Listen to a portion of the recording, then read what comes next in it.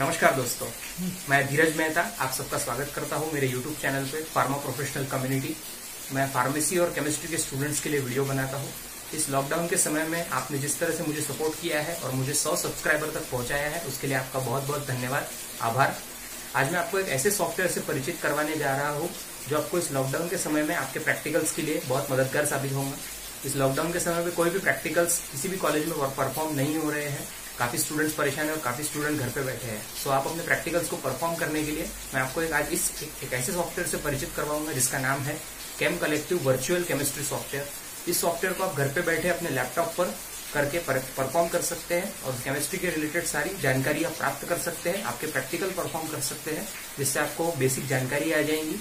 Video के first part में मैं आपको बताऊँगा कि इस सॉफ्टवेयर को कैसे इस्तेमाल किया जाता है, इसके बेसिक बेसिक कौन से कौन से पार्ट है तो प्लीज़ मेरा वीडियो देखते रहिए। ये है pharma professional community YouTube channel मैं धीरज मेहता, आप सबका दोस्त मेरे यूट्यूब चैनल पर स्वागत करता हूँ। धन्यवाद। आप सब लोग दोस्त, मैं आप सबका स्वागत करता हूँ मेरे यूट्यूब चैनल पे फार्मा प्रोफेशनल कम्युनिटी और आज मैं आपको एक ऐसे सॉफ्टवेयर से परिचित करवाऊँगा जिसका नाम है chem collective virtual chemistry software ये सॉफ्टवेयर आपको गूगल पे simply chem collective virtual chemistry software ऐसा लिखने पर तुरंत डाउनलोड हो सकता है।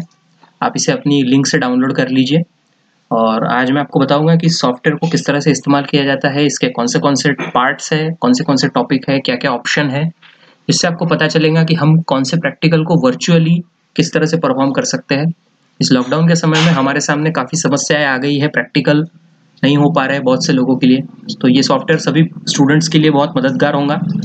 सो मेरा वीडियो देखते रहिए। मैं आपको बताता हूँ कि ये सॉफ्टवेयर किस तरह से काम करता है। देखिए मेरा कर्सर मैं इस कर्सर को ले जा रहा हूँ। ये जो आपके सामने स्क्रीन दिख रही है, इसे कहते हैं वर्क बेंच जहाँ पर हम हमारा प्रैक्टिकल परफॉर्म करते हैं। ये वर्क बेंच वन है। हम कंट्रोल प्लस एन की कमांड से इस वर्क बेंच को ला सकते हैं। हम यहाँ देख सकते हैं कि यहाँ पर सोल्यूशन इन्फो कौन सा है। कहने का मतलब नेम मतलब हम जिस केमिकल का इस्तेमाल करेंगे अगर हम पानी का इस्तेमाल करते हैं, हम सोडियम हाइड्रोक्साइड का इस्तेमाल करते हैं, अगर हम हाइड्रोक्लोरिक एसिड का इस्तेमाल करते हैं तो वहाँ इसका नाम लिख कर आ जाएगा और इसका जितना वॉल्यूम होगा मतलब हम कितने माप में ले रहे हैं, वो हमें दिख जाएगा। यहाँ पर ये ऑप्शन खुला नहीं है, मैं अभी आपको इसको खोल के बताऊँगा। उसके बाद यहाँ पर हमें हमें हमारा टेम्परेचर दिखेगा और ये हमारा पीएच मीटर है। हमारे पर्टिकुलर सॉल्वेंट्स का पर्टिकुलर हमारे सॉल्यूशंस का क्या क्या पीएच है, क्या पीएच मापदंड है, क्या वो एसिड है, क्या वो बेस है, ये उसकी स्केल है। ये स्केल आपको बता देंगी कि आपका केमिकल कौन से पीएच पर वर्क कर रहा है, क्या टेम्परेचर है, सब कुछ। यहाँ पर आप देख सकते हैं, यहाँ फ़ाइल का ऑप्शन है, यहाँ एडिट का ऑप्शन है, यहाँ टूल का ऑप्शन है, यहाँ व्यू का ऑप्शन है और यहाँ हेल्प का ऑप्शन है। इस फ़ाइल की मदद से हम हमारा होमवर्क कहने का मतलब हम हमारे प्रैक्टिकल्स को इस पर अपलोड करवा सकते हैं। दूसरा हम यहाँ न्यू वर्क बेंच ला सकते हैं, जिससे हमें, जैसे देखिए, अगर मैं यहाँ पर क्लिक करता हूँ कंट्रोल प्लस एन पर तो हमें वर्क बेंच टू यहाँ दिखाई देगा। और यहाँ वर्क बेंच वन है। हम दोनों वर्क बेंच पर इंडिविजुअली वर्क कर सकते हैं, हमें कोई परेशानी नहीं होगी। उसके बाद आप देख सकते हैं, यहाँ एडिट का ऑप्शन है। हम अपने वर्क बेंच को डिलीट भी कर सकते हैं। यहाँ टूल्स के ऑप्शन है, जिसमें हमें ग्लासवेयर दिखेंगे। आप देख सकते हैं, यहाँ बीकर्स है। ढाई सौ की बीकर है छः सौ की बीकर है और हज़ार एम की बीकर है। यहाँ हमारे पास इलनेरेमेयर फ्लास्क है जिसे हम हमेशा वॉल्यूमेट्रिक फ्लास्क कहते हैं कोनिकल फ्लास्क कहते हैं माफ़ कीजिएगा ढाई सौ का वॉल्यूमेट्रिक फ्लास्क है कोनिकल फ्लास्क है पाँच सौ का वॉल्यूमेट्रिक फ्लास्क है कोनिकल फ्लास्क है ग्रेजुएटेड सिलेंडर्स दस एम का पच्चीस एम का पचास एम का हमारे पास पीपेट है पाँच एम की दस एम की पच्चीस एम की और डिस्पोजेबल पीपेट्स है हमारे पास वॉल्यूमेट्रिक्स भी है सौ एम के ढाई सौ पाँच सौ और हज़ार के हमारे पास पचास एम की ब्यूरेट है और हमारे पास फोम कप है कुछ इंस्ट्रूमेंट्स की जानकारी मैं आपको दूँगा। जैसे हमारे पास बुसन बर्नर है, हमारे पास वेइंग बुट है और स्केल है। साथ ही साथ हमारे पास व्यूज़ हमारे पास कौन से कौन से थीम्स आते हैं जिसमें इसमें मेटल्स में प्रेजेंटेशन न्यूट्रल और एलिमेंट और हेल्प कंट्रोल प्लस एफ़ दबाने से या फिर सिर्फ़ सीधा एफ़ की दबाने से हमें कोई भी सॉफ्टवेयर के रिलेटेड कोई भी प्रॉब्लम चाहिए तो हमें सॉल्व हो सकती है। यहाँ आप स्क्रीन पर देख सकते हैं यहाँ पर। Iridium chemistry lab strong acid problem मैं यहाँ पर एक किसी प्रॉब्लम को सॉल्व करने के लिए इस सॉफ्टवेयर को आपको बताने वाला हूँ। लेकिन सबसे पहले मैं आपको बता दूँ कि इसको इस्तेमाल कैसे करते हैं। सो so, देखिए यहाँ पर। यहाँ पर चार ऑप्शन दिख रहे हैं। जैसे मैंने यहाँ पर इसको क्लिक किया यहाँ पर zero point one normal N आ गया। मैं इस चीज़ को हटा दूँगा यहाँ से। रिमूव कर दूँगा। अब जैसे मेरे पास यहाँ पर बीकर है यहाँ पर ढाई सौ की बीकर है इसको यहाँ पर इस तरह से क्लिक कीजिए। देखिए फिर से बताता हूँ। इस, इस, इस तरह से क्लिक कीजिए बीकर पे क्लिक कीजिए। और ढाई सौ की बीकर क्लिक करने से हमें यहाँ पर एक ढाई सौ की बीकर मिल जाएँगी। यहाँ पर टेम्परेचर देखिए 25 डिग्री सेल्सियस पीएच वैसे का वैसा है, हमारा एक्वियस का ऑप्शन खुल चुका है और सॉलिड का ऑप्शन खुल चुका है। अगर हमें इससे बड़ी बीकर चाहिए तो मैं 600 ml की बीकर पे क्लिक करूँगा और यहाँ पर 600 ml की बीकर खुल जाएँगी। अगर मुझे हज़ार की चाहिए तो मैं हज़ार की खोलूँगा और यहाँ इस तरह से इसको अरेंज कर दूँगा। जिससे हमें पता चल जाएगा कि अगर हमें, हमारे प्रैक्टिकल के दरमियान कोई भी बीकर चाहिए तो हम इन तीनों का इस्तेमाल यहाँ पर बैठे बैठे कर सकते हैं। उसके बाद यहाँ पर हमें 250 सौ का इरनेबल फ्लास्क दिखता है। इसको मैं यहाँ नीचे ले आता हूँ। उसके बाद मुझे पास 500 सौ का भी इरनेबल फ्लास्क है। मैं यहाँ ले आता हूँ। उसके बाद हमारे पास कुछ ग्रेजुएटेड सिलेंडर है। हमें ग्रेजुएटेड और कैलिब्रेटेड का फ़र्क समझ में आना चाहिए।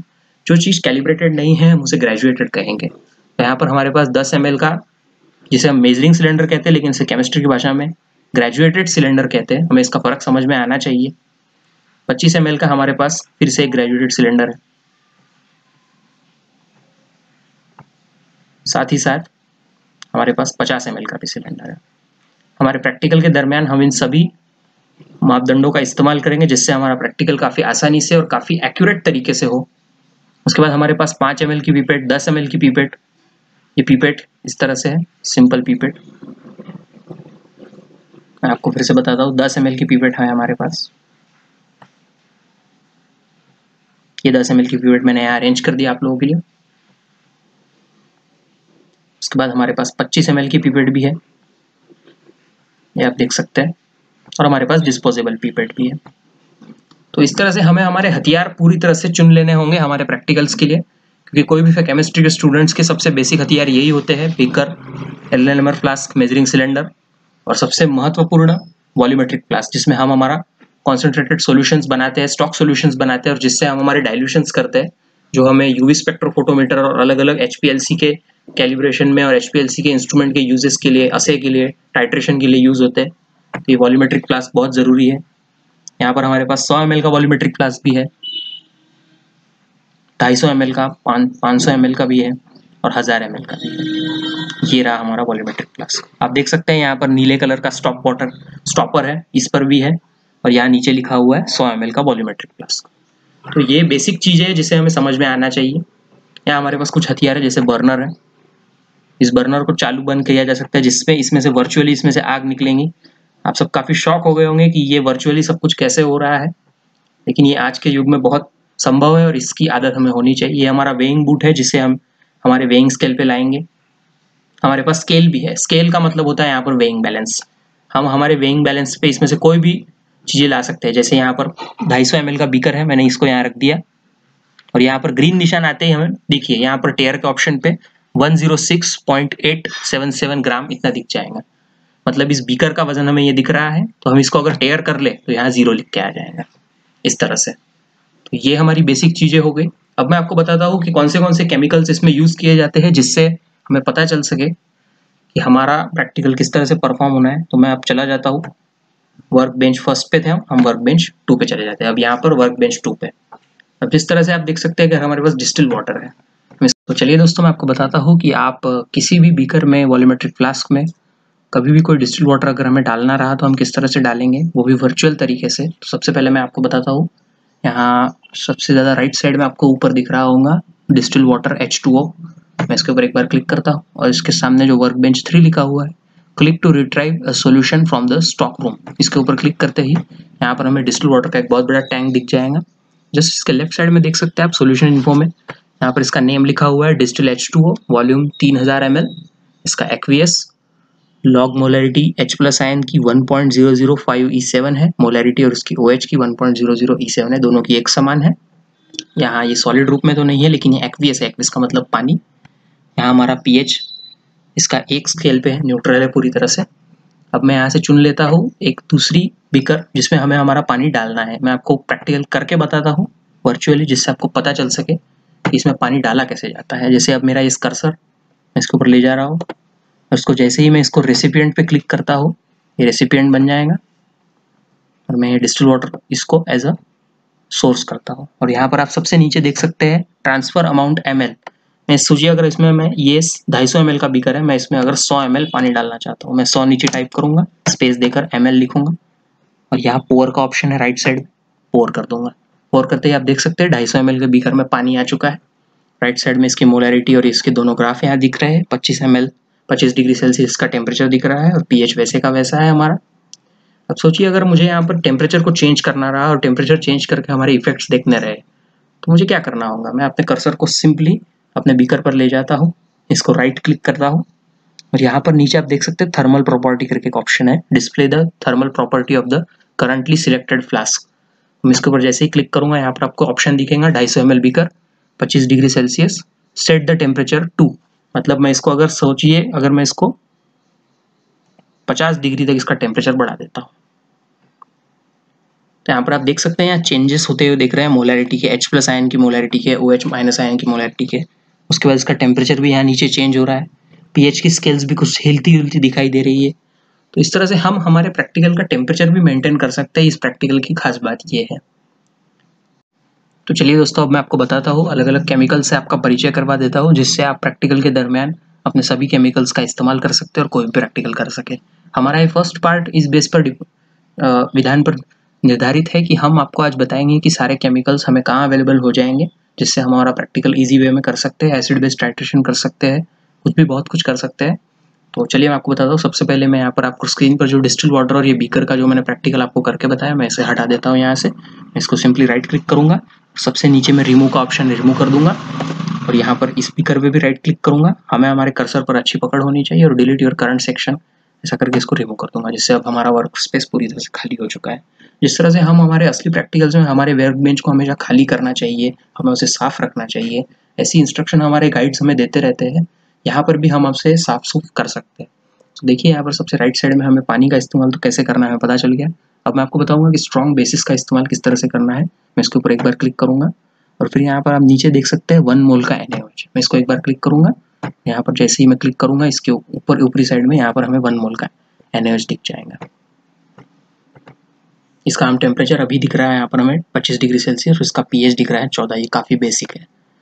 इसकी आप मोलैरिटी देख सकते हैं। एच प्लस आयन की मोलैरिटी काफ़ी चेंज दिख रही है ओ एच माइनस की दिख रही है और एन ए जो सोडियम है वो दिख रहा है। यहाँ दोनों ग्राफ ऊपर है। यहाँ पर आप नेम सोल्यूशन देख सकते हैं वन नो नॉर्मल एन और वॉल्यूम देख सकते हैं, सौ एम तो इससे हमें पता चलता है कि हमारे स्क्रीन पर हमारा कौन सा केमिकल अवेलेबल है। अब हम स्ट्रॉन्ग बेस के अंदर दूसरी कैटेगरी की बात करेंगे zero point one normal molar N इसके ऊपर जैसे ही मैं एक बार क्लिक करता हूँ तो हमें zero point one molar N मिल जाएगा। इस स्पीकर को मैं इस साइड ले आता हूँ। यहाँ पर आप देख सकते हैं वन मोलर एन और ये zero point one mole N दोनों में डिफरेंस है। अब जैसे ही जैसे ही मैं इसके ऊपर क्लिक करता हूँ, हमें यहाँ दिखेगा कि हमारा पीएच की स्केल जो पहले चौदह पे थी, वो चौदह से बारह पे आ गई। हमारे मोलरिटी में कोई ज़्यादा फ़र्क नहीं है, लेकिन हमारे ये जो ग्राफ है, लाल, हरे और नीले, ये ऊपर आ चुके हैं। और इस बार हमारे पास नेम सोल्यूशन में zero point one molar N और वॉल्यूम सौ एम है। इसी तरह से मैं तीन मोल का एन भी ला सकता हूँ, दस एम दस मोल का एन भी ला सकता हूँ। अब मैं आपको इंडिकर इंडिकेटर से परिचित करवा देता हूँ। कीजिएगा यहाँ पर। इसके ऊपर मैं एक बार जैसे मिथाइल ऑरेंज पे जैसे ही मैं एक बार क्लिक करता हूँ तो हमारे पास मिथाइल ऑरेंज का एक इंडिकेटर मिल जाएगा। इस मिथाइल ऑरेंज के आप देख सकते हैं यहाँ पर। ये काफ़ी स्केल से आ, इधर आ चुका है। सिक्स और एट के बीच के इस साइड में आ चुका है, पच्चीस डिग्री सेल्सियस। और मिथाइल ऑरेंज की आपको मोलरिटी यहाँ दिख सकती है। मिथाइल ऑरेंज की मोलरिटी क्या ये पार्ट देख सकता है और ये ग्राफ काफ़ी चेंज हो चुका है। इससे हमें पता चलता है कि हमारी मोलरिटी केमिकल्स की कैसी है। अगर हम मिथाइल रेड यूज़ करना चाहते हैं तो मैं इसके ऊपर एक बार क्लिक करूँगा, ऊपर जाऊँगा और हमें मिथाइल रेड मिल जाएगा। ये इंडिकेटर्स हमारे टाइट्रेशन के एंड पॉइंट्स को डिटरमाइन करने के लिए इस्तेमाल होते हैं। जब जैसे ही मैं इसके ऊपर क्लिक करता हूँ, हमारे सौ एम का मिथाइल रेड मिल जाएगा और यहाँ हमारा ग्राफ काफ़ी चेंज हो चुका है मोलरिटी के इसमें। हमें मोलरिटी का काफ़ी खास ध्यान रखना है, जिससे हम हमारी सोलिबिलिटी और हर चीज़ पर बहुत ज़्यादा ध्यान रख सकते हैं। इसका पीएच यहाँ पर छः हो चुका है, काफ़ी चेंजेस आ चुका है। हम यहाँ से हमारा टेम्परेचर एडजस्ट भी कर सकते हैं। इसके ऊपर जाइए क्लिक कीजिए और थर्मल प्रॉपर्टी पे जाइए। 25 डिग्री का मैं 35 डिग्री कर दूँ और अगर ओके करता हूँ तो यहाँ पर टेम्परेचर चेंज होता दिखेगा आपको। और ये पर्टिकुलर इसी के लिए हो रहा है, इन लोगों के लिए नहीं हो रहा है। हर केमिकल के लिए आपको उसके ऊपर जाना होगा, अपने कर्सर को ले जाना होगा क्लिक करना होगा सिलेक्ट करना होगा थर्मल प्रॉपर्टी में जाना होगा और बस। आपका टेम्परेचर यहाँ से आप सेट कर लीजिए, जैसे मैंने अठहत्तर कर दिया। और यहाँ पर हमारा ग्राफ ऊपर नीचे होता दिखेगा। अब मैं आपको कॉन्जुगेटेड बेसिस के बारे में जानकारी दूँगा। इसके ऊपर कॉन्जुगेट बेस पर जाइए क्लिक कीजिए। यहाँ पर हम देख सकते हैं स्क्रीन पर one mole N A N C C H two C O O जैसे हमारे केमिकल है। हमारे पास one mole N A two C O three है N A three P O four है। कॉन्जुगेटेड बेसिस है हमारे पास सारे। यहाँ आप देख सकते हैं स्ट्रॉन्ग एसिड भी है हमारे पास, दस मोल का N H H C L है। इसको एक बार क्लिक करूँगा आपको दिखाता हूँ, दस मोल का एच हमारे पास आ चुका है। हमारे पास तीन मोल का एच भी है। जाइए क्लिक कीजिए, लिए ये स्क्रीन पर। ये सारे केमिकल्स हमारे प्रैक्टिकल में बहुत मददगार होंगे। तो आप कोई भी प्रैक्टिकल अपनी बुक में से उठाइए टाइट्रेशन का जो भी आपको पसंद आए, और इस वर्चुअल स्क्रीन पर आप अपना प्रैक्टिकल परफॉर्म कीजिए और अपनी प्रैक्टिकल अंडरस्टैंडिंग को बेहतर कीजिए, अपनी स्किल्स डेवलप कीजिए, जिससे आपको पता चल सके कि हम प्रैक्टिकल कैसे परफॉर्म कर सकते हैं। यहाँ पे आप, यहाँ पे आप देख सकते हैं। ऑप्शन पे जैसे जैसे मैं नीचे जा रहा हूँ, हमारे पास बहुत सारे एसिड्स खुल सकते हैं H B R three mole H B R three mole H two S O four H two S O four पे ऐसे मैं क्लिक करता हूँ। आप इसकी प्रैक्टिस किया कीजिए जिससे आपको पता चल सके कि ये प्रैक्टिकल किस तरह से परफॉर्म होता है। यहाँ पर नीचे वीक एसिड है। मैं वीक एसिड पर एक बार क्लिक करता हूँ। यहाँ पर one mole H F C H three C O H acetic acid तीन मोल का C H three C H acetic acid भी है हमारे पास H three P O four है H three P O four one mole का भी है। ये सारे केमिकल्स से हम काफ़ी परिचित हैं, लेकिन अभी हम प्रैक्टिकल्स को भूलते जा रहे हैं तो हमारी स्किल्स को हमेशा काबू में रखने के लिए और हमें उसे वैलिडेट करने के लिए ऐसे प्रैक्टिकल्स करके हम हमारा समय बर्बाद न करें और हमारा प्रैक्टिकल करते रहे। यहाँ पर आप सबसे अब नीचे ले जाता हूँ मैं आपको। यहाँ पर काफ़ी केमिकल्स हैं, जैसे यहाँ पर वीक बेसिस दिख रहे हैं। यहाँ पर three molar N H three zero point five molar M G bracket में O H two base two the में. One mole N H three है one mole C five H five N है. Three mole C five H five N है conjugated acid है. और one mole N H four C L है.